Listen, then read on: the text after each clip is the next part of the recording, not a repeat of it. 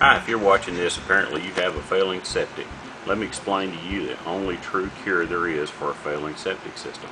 If you don't use aerobic bacteria in air, it will not be clean the way it should be in the field. Uh, your problem is probably biomat buildup. The septic saver built by Proline will unstop biomat in the septic field. What happens is, is you have a pump. The pump is circulating the water. It brings it through. It brings it through a modified venturi through a zero vacuum, pulls it in. It basically separates the nitrogen and oxygen in the air. The oxygen is put into the water, saturates the water with this oxygen. The O2 promotes the growth of aerobic bacteria. The aerobic bacteria and water then flows out into the drain field that's plugged off.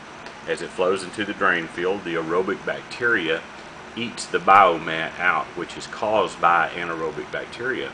As this happens, it allows your drain field to, to start to percolate again as it did when it was new. As I said, this is the only real cure that you have for a septic. Chemicals and additives are short term and they will not work long term. This is a permanent fix.